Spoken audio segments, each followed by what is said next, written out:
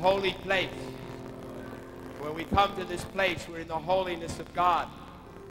And God brings us here to touch us now.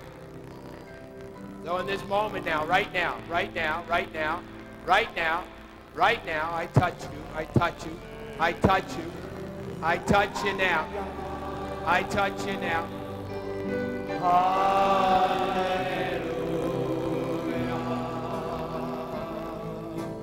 I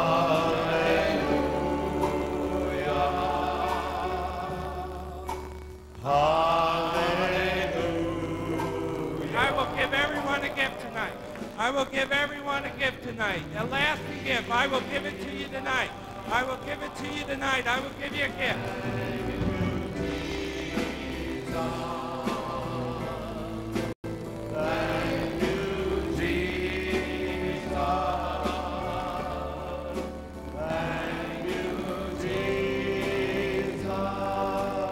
But this is a night to do more than just feel good. This is a night to jump in. Jump in over your head.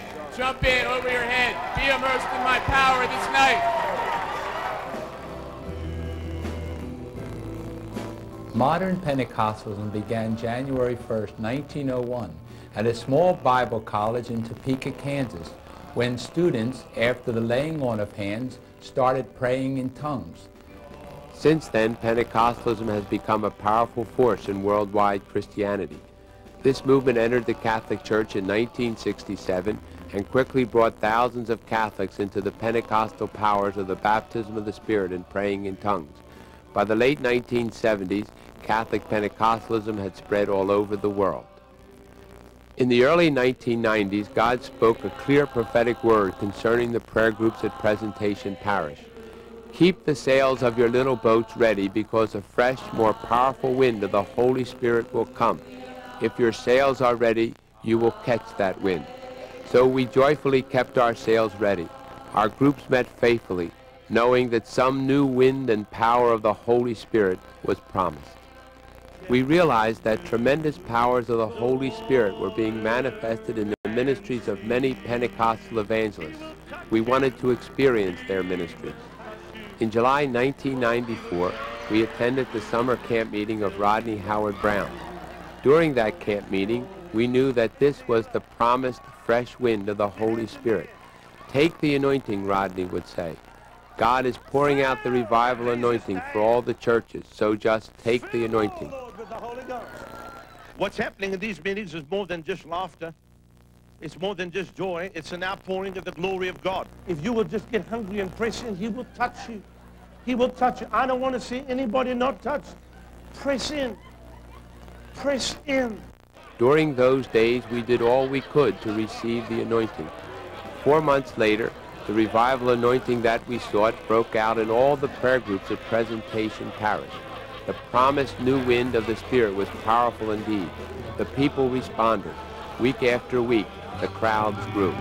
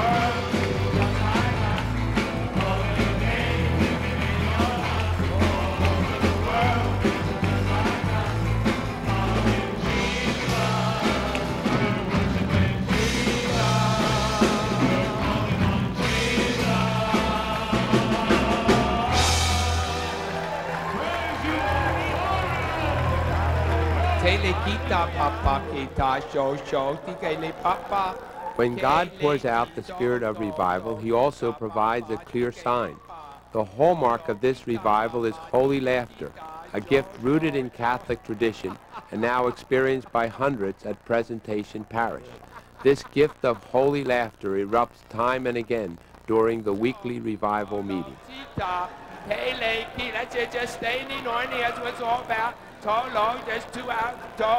The. Toe low, T, just touch, get the touch of God, let the touch of God come upon you. Pa, P, toe, toe, toe, toe, toe, toe, toe, toe, toe, toe. Not any touch of man, it's just a touch of God. He even gets up into the choir loft, he even makes it all the way up there. Toe low, it's over in the school hall, you got over in the school. You're the lucky ones, you got in the church. Toe low, te, toe, toe, toe low. Show, show, show. He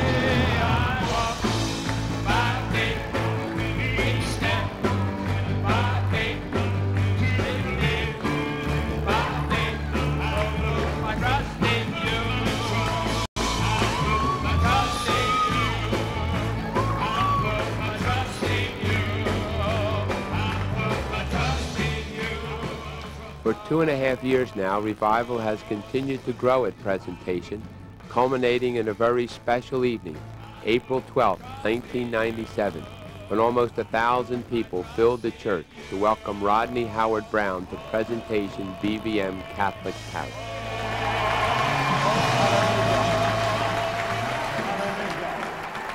just one thing. N- never forget who God used. Never forget whom God used. Never forget whom God used. Okay, and I, I promise you we will never forget whom God used as to bring the anointing. Rodney Howard Browne.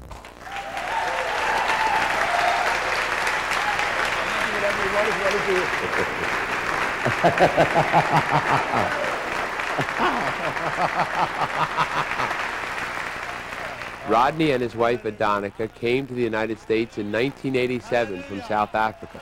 They are traveling evangelists, going each week from church to church.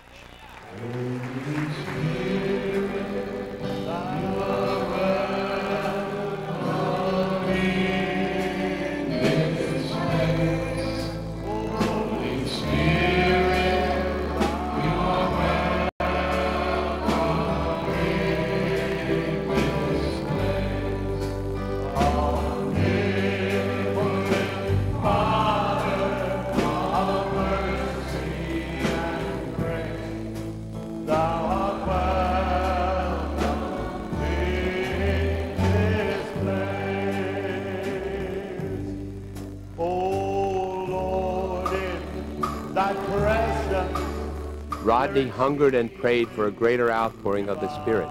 In April 1989, the revival anointing erupted as a total surprise. While he was preaching, the Holy Spirit descended upon the group gathered in the church. People fell out of their seats. People started laughing uncontrollably. Everyone felt an overwhelming presence of God. At church after church, whenever Rodney ministered, the Spirit manifested himself in the same way. The breakthrough event was Rodney's ministry at the 10,000-seat Carpenter Home Church in Lakeland, Florida, in the spring of 1993. Week after week, thousands came to that church to experience revival. Now revival was no longer a far-off promise. Revival had come.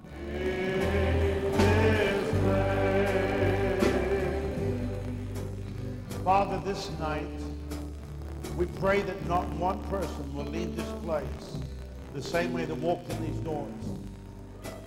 But let Jesus become so very real to each and every individual in this place. Thank you for your presence that is here right now. Thank you for touching every hungry heart. Spirit of the living God, you're welcome to do whatever you want to do. Thank you for what you've done here the past two years. But thank you that this is only the beginning of what you're going to do here. Only the beginning. Only the beginning. Hallelujah. Hallelujah. Glory to God. Glory to God. Glory to God. I want to just say what a privilege and honor it is for us to be here. We've been looking forward to this for a very, very long time. And to hear the wonderful testimonies of what the Lord is doing. I know that God is pouring out his spirit upon the earth in such an awesome way. And he's not limited it to one group of people or one denomination. Hallelujah.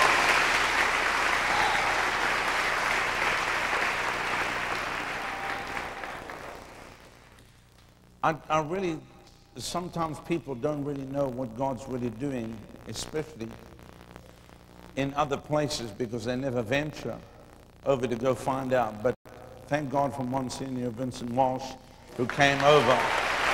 And I, I want to say this. I, I'm so blessed to be here tonight and to see the wonderful musicians and the music and the praise and the worship. It's wonderful. The moment I walked in the door, I sensed the presence of the Lord. Amen. So I feel like I'm at home. I feel like I'm at home.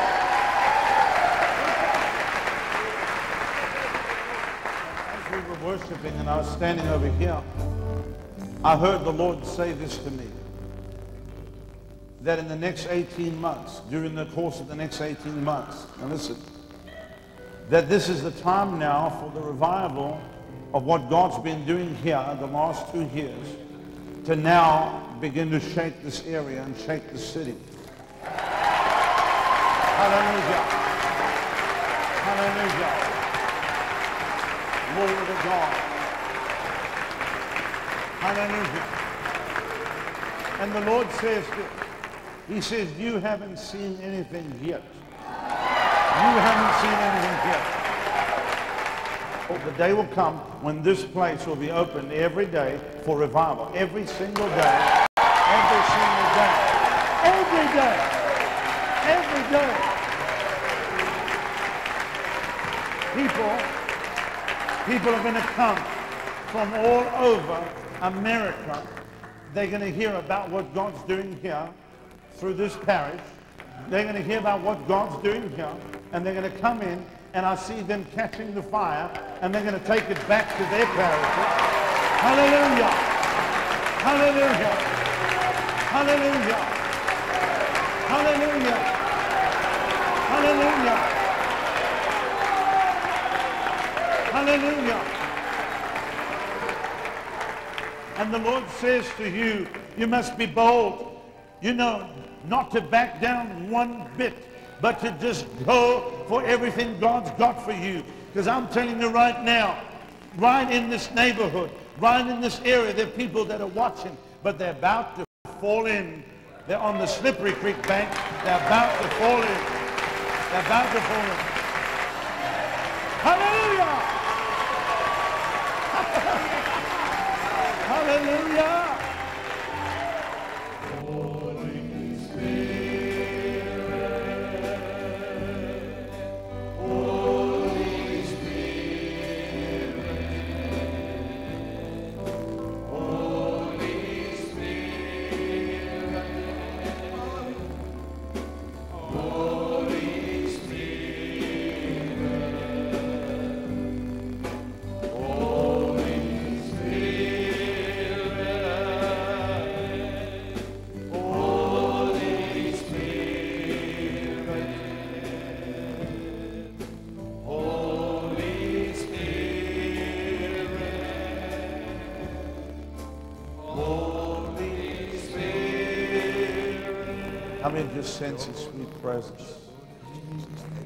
Sweet presence tonight. Hallelujah, Lord. Hallelujah. Hallelujah. Hallelujah. I would love to tell you what I think of Jesus. Since I found in him a friend so kind and true. I would tell you how he changed my life completely. He did something that no other friend could do. No one ever cared for me.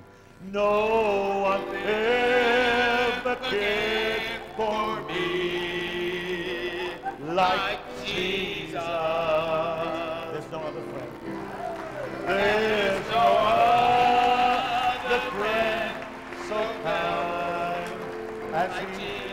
as he. No one else could take. No one else could take the sin and darkness from me. Oh, how much he. Oh, how much he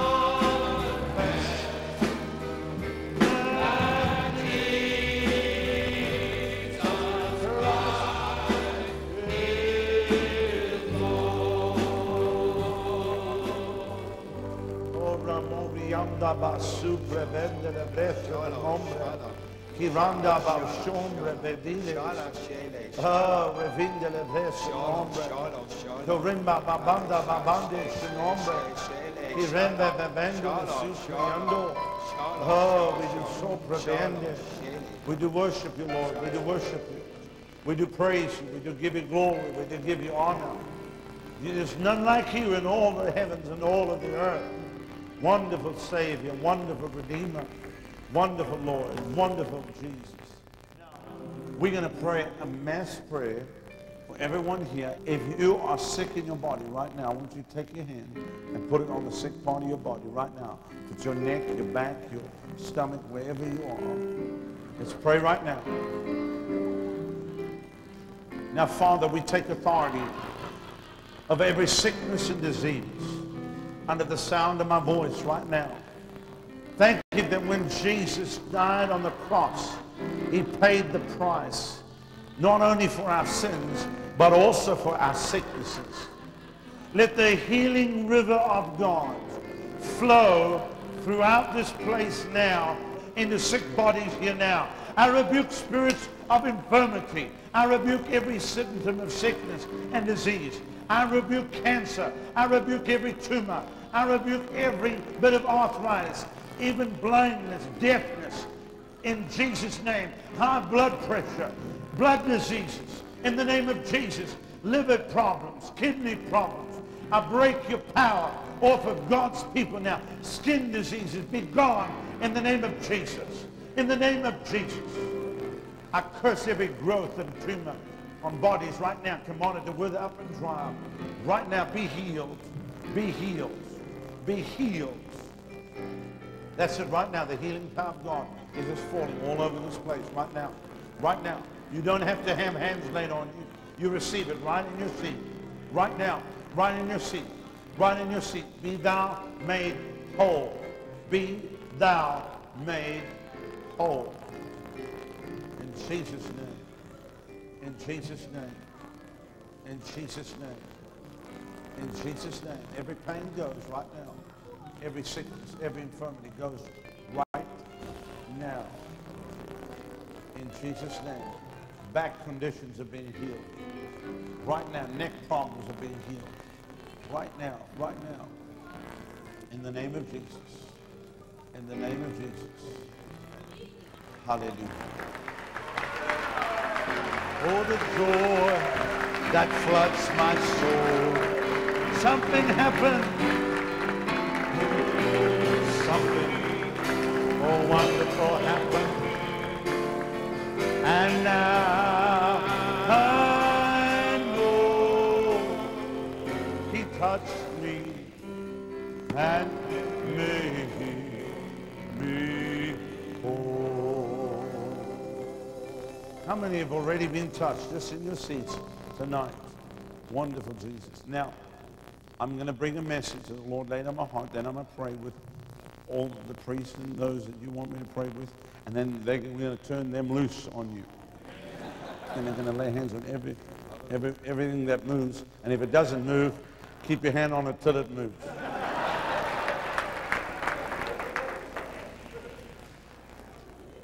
I want to read you from the book of Acts, Acts chapter 9.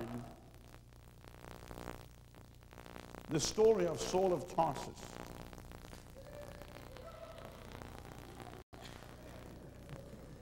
Verse 1 says, And Saul, yet breathing out threatenings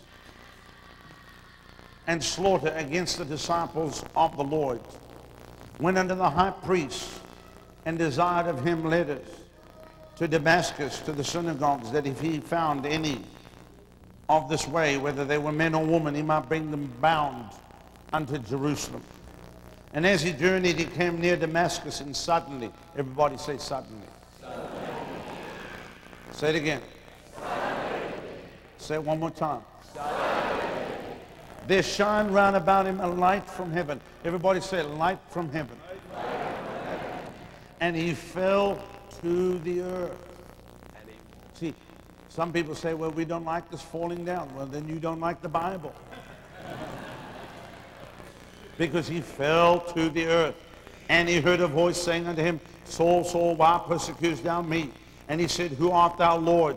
And the Lord said, I'm Jesus, whom thou persecutest. It is hard for thee to kick against the pricks. And he trembling, he was shaking because of the power of God. I want you to see what happened here. This encounter was an encounter with God. Saul of Tarsus, one of the greatest persecutors of the Christian church, bent on destroying the church, on the way to Damascus has a head-on collision with God. Now, it'd be one thing having a head-on collision with the truck. But having a head-on collision with God, both are life-changing experiences.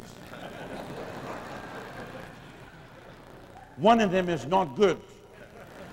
The other one is good.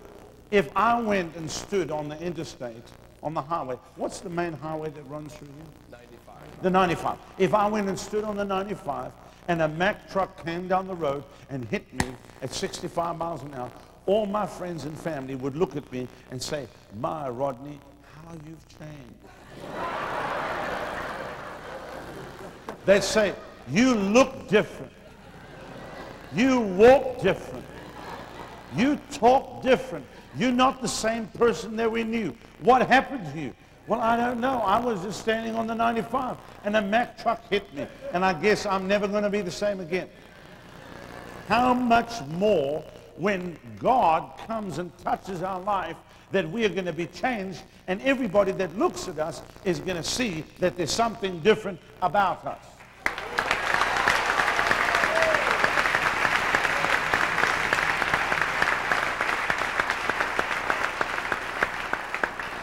You might even end up with a name change.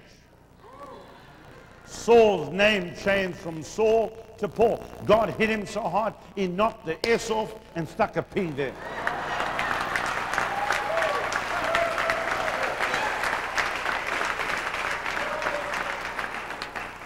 When the Lord first touched me, I was concerned that he was going to change my name from Rodney to Odney.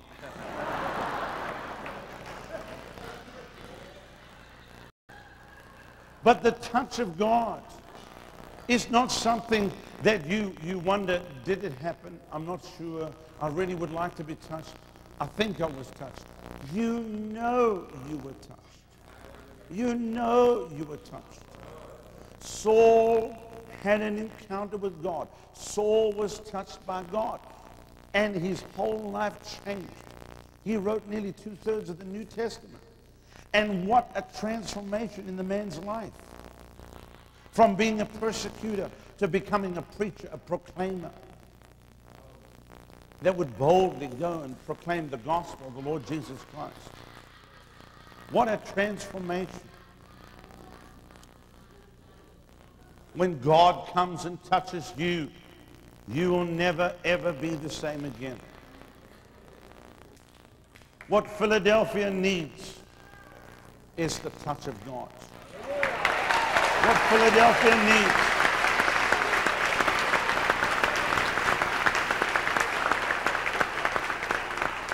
I believe with all my heart that God can give us a revival that will shake the city of Philadelphia to the very foundation.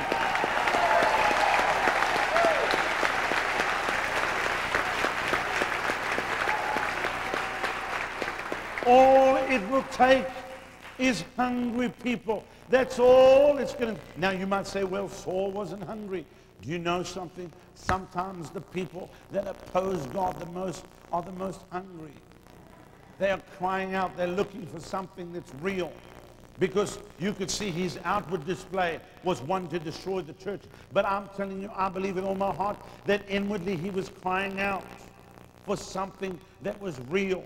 And he was on his way to Damascus and suddenly, I like that word suddenly,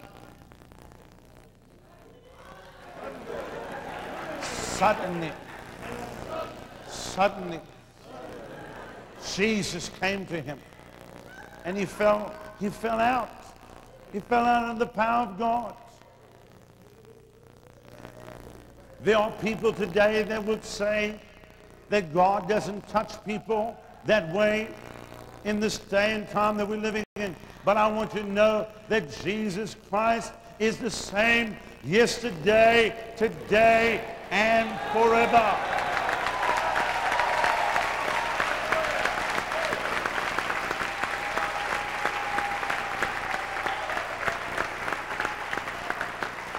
He said, if you hunger and thirst after righteousness, you will be filled. It's up to us to hunger. It's up to us to thirst, and we will be filled. He said, if you draw nigh to me, I will draw nigh to you. He is waiting for us to come. He is waiting for us to surrender every area of our life to him.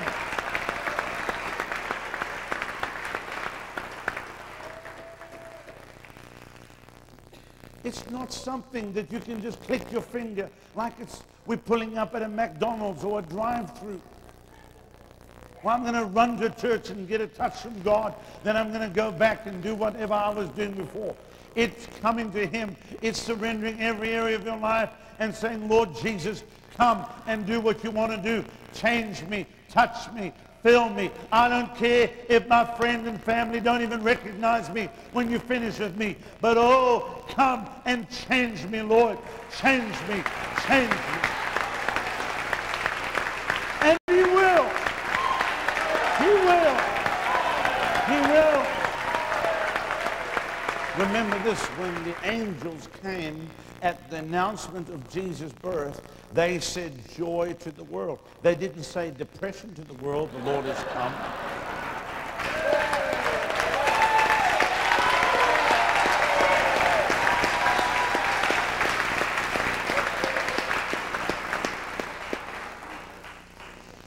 The Bible says in the book of Acts, they looked at Peter and John. They perceived they were unlearned and ignorant men, but they marveled and took knowledge of the fact that they'd been with Jesus. Why? Because they were depressed. Somebody said, look at that sorry looking thing. Oh yeah, I know why he's like that. He's been with Jesus. Not on your life. People are going to look at you. They're going to see there's something different about you. Your eyes look different. You speak different. Your face is lit up. It, it's radiant. It's shining. With the glory of God. You look different.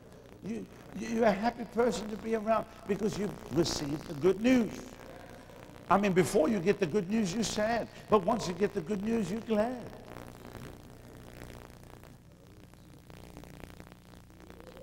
Why is it that we sing songs in the church? Glad day when I was born again. Joy, joy, joy if you come to Jesus. Joy, joy, joy. But yet you look at people, their faces are so long, they look like they got baptized with lemon juice.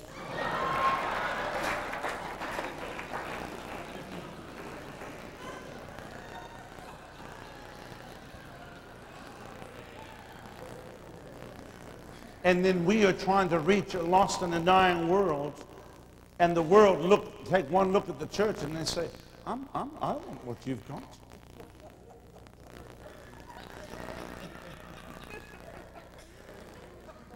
I can just imagine if we sent some of them to go help somebody who's about to commit suicide, he would just say, that's it, I'm going to jump. I know there's no hope for me now. I thought there was hope for me, but I've taken one look at this Christian, and I know there's no hope for me now. When Jesus comes, he makes the difference. When Jesus comes, everything changes. When Jesus touches you, everything changes. Know about.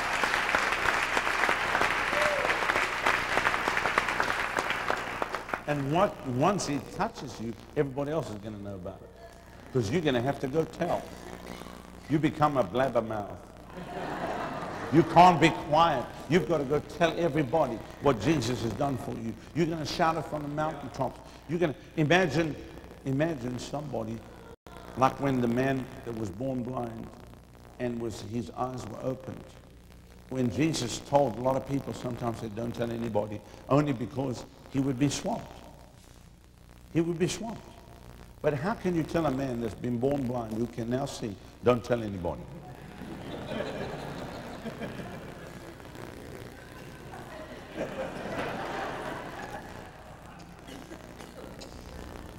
and when they questioned the man, he said, look, I don't know, because they were bringing up a lot of things. He said, look, I don't know anything about what you're talking about.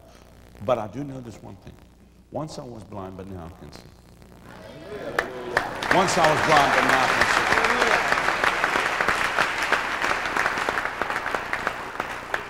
And there'll be a lot of people that will come against the move of God, and they'll say, well, that can't be God, this can't be God. All you have to tell them, look, I don't know too much about what you're saying. All I know is once I was bound, but now I'm free. Once I was bound, but now I'm free. Jesus has come, and he's touched me, and I'm never, ever going to be the same again. Now, I believe that God wants to touch people here tonight in a very, very special way. This is not about me, and I've always said that. Do you know that this month, even as we speak this week probably, is exact eight years ago that this revival broke out in upstate New York? Eight years ago? Eight years ago.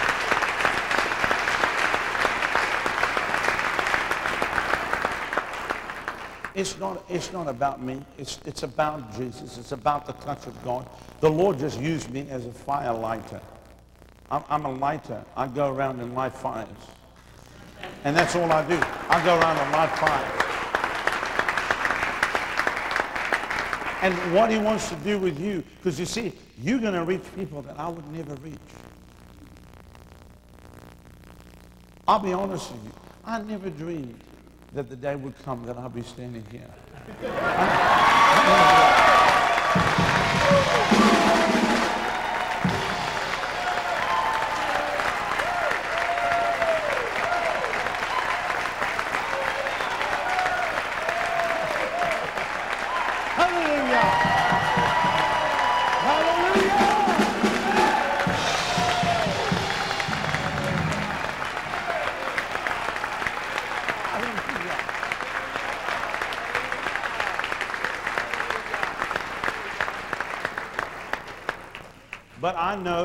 Many other places that probably I would not even be able to get in the front door. But you're going to get touched. And God's going to take you there.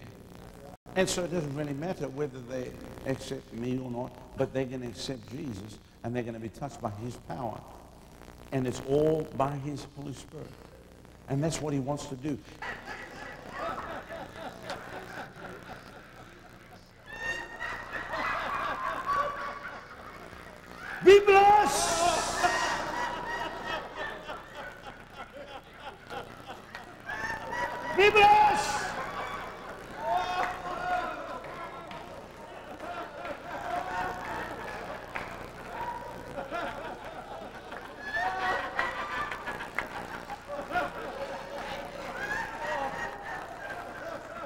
Say this on me, suddenly.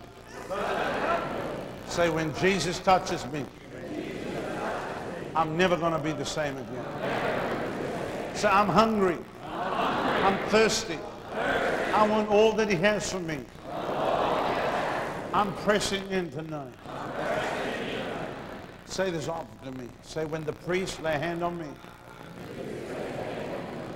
I receive a fresh a fresh anointing of the Holy Spirit. One of the most important things that we need to do must take place right now, and that's to give everyone an opportunity. Maybe you've come